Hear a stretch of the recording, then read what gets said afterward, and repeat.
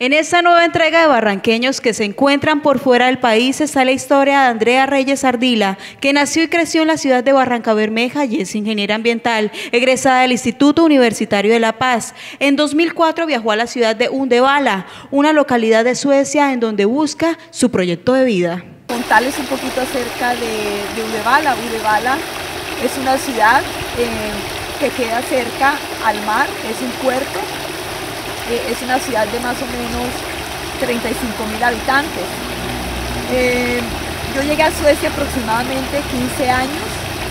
Eh, soy egresada de la Universidad de La Paz, Ingeniería Ambiental, y gracias a Dios he podido desarrollar mi carrera aquí en este país. Gracias a su compromiso como ingeniera ambiental encontró oportunidades laborales en esta localidad sueca como servidora pública. Al llegar a este país se propuso la meta de aprender el idioma sueco. Cabe resaltar que Andrea Reyes en sus tiempos libres los aprovecha en el baile con uno de los hobbies que más le apasiona, enseñar a la familia y a sus amigos a bailar zumba y spinning, mostrando el talento cultural que llevan las venas de los barranqueños. Eh, también trabajo con la parte de la salud pública haciendo inspecciones en cuanto a ruido y todo lo que se refiere a la parte de salud pública en los colegios.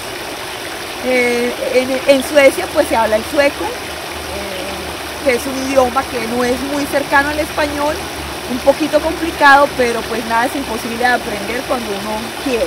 ¿Cuáles son los lugares y costumbres que más extraña Andrea Reyes de su ciudad natal, Barranca Bermeja? Lo que más extraño de Barranca Bermeja pues mi padre que está todavía allá, mi familia, mis amigos, amigas, eh, la cazuela de mariscos, el bocachico, los fandangos, eh, la, gente, la alegría, el calor, la música, etcétera. Pues muchas cosas me extrañan, pero pues bueno, se puede ir a visitar y, y yo pues dejo un poquito de esa alegría que tenemos los barranqueños, lo he dejado aquí en este país. Para esta barranqueña por el mundo no existen límites e invita a la comunidad de Barranca Bermeja para que luchen por alcanzar sus objetivos por fuera del país y promete a sus familiares que muy pronto visitará la ciudad que la vio crecer y a sus familiares que la esperan en esta bella hija del sol.